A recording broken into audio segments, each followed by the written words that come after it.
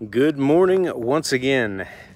I'm out here in roughly the middle of northern Nevada, give or take, at the junction of the 6 and the 360. Just in case you want to look that up on the map. And it's I just been up for a little while, getting ready to take off on the rest of my leg back to Reno.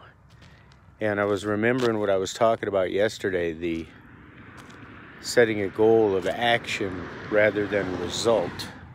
Because one of the key things to getting things done is to not be married to the result.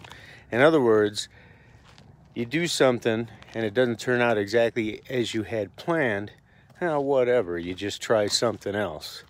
And I know that I for had challenges with this for a long time because I expect things to work for me, and I've been pretty lucky with a lot of things in my life, and business just does not work that way.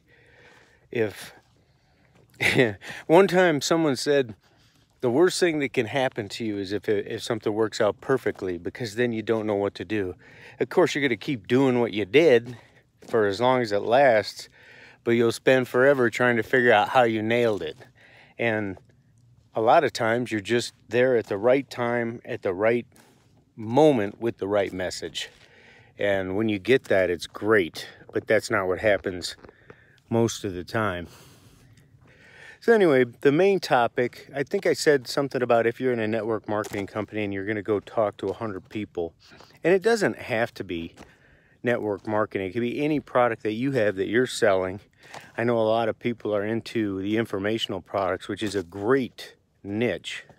I mean, it's like an over niche, informational products on, and then you got a bazillion niches under that.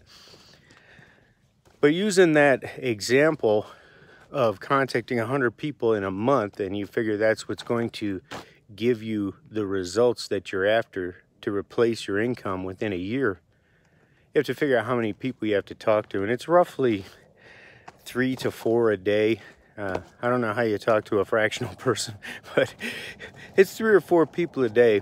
And a lot of times it's not going to be a good idea to simply say, I'm going to talk to this many people today, unless you have a means of contacting people that doesn't involve face to face.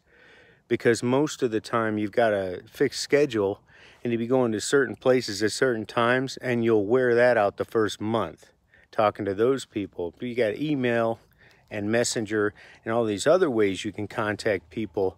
Then it's much easier to look at it from a daily perspective on an ongoing basis. So take the time to work out how many people you've got to contact and then begin to contact them and as you go along, the law of large numbers will start to take over. You'll see a pattern of how many people you have to contact to get a certain result.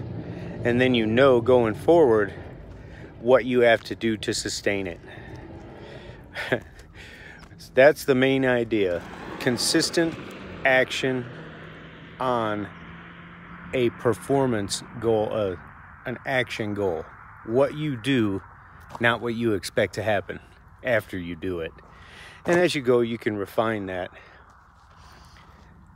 And once you get your numbers, then it's easy to predict how much money you'll be able to make at a given amount of time and start to tweak the conversions and stuff like that to make yourself more effective. That's what I got for today. I hope you're having a beautiful day just like this wherever you are because it is awesome out here. I'll see you tomorrow. I'm out.